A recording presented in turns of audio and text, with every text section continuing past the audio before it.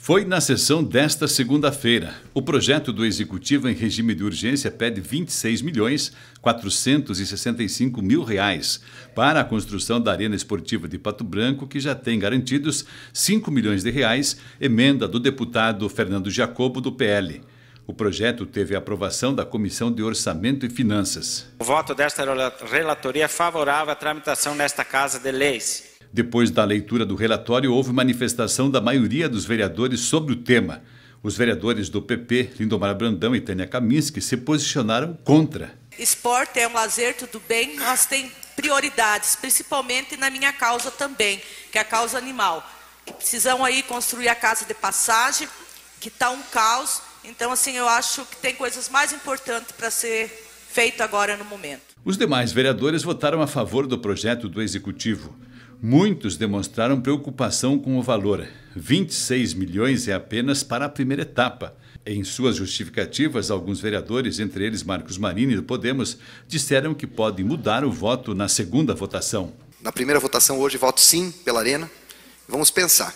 Só que vamos agir rapidamente até a segunda votação, como o Rafael falou bem, vamos ver a questão do recurso livre que nós temos no município, as pautas que nós temos, para que a gente não faça nenhuma besteira.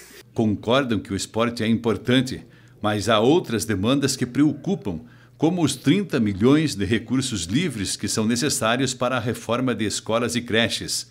Na votação, oito votos a favor, dois contra. Vereador Lindomar Brandão justifica sua posição. Nós temos uma contrapartida de apenas 5 milhões, comparado, né? Bastante dinheiro, mas comparado ao valor total é pouco, né? É, de uma emenda aí do deputado Jacobo. E o restante, se não vier de outro local, tem que sair do caixa do município de Pato Branco, né? Do recurso livre. Recurso que pode ser aplicado em qualquer secretaria, sendo educação, saúde, enfim, aonde for necessário. Como o próprio nome do recurso diz, é um recurso livre, né? Januário Kozlinski, do PSDB, foi um dos oito que votaram a favor.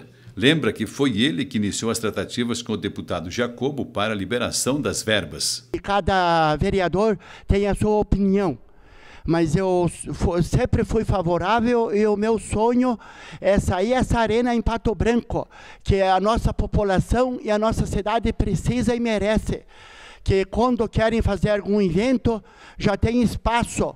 O vereador Joecir Bernardi, PSD, solicitou à mesa diretora que a segunda votação seja adiada para que os vereadores recebam mais informações sobre este projeto.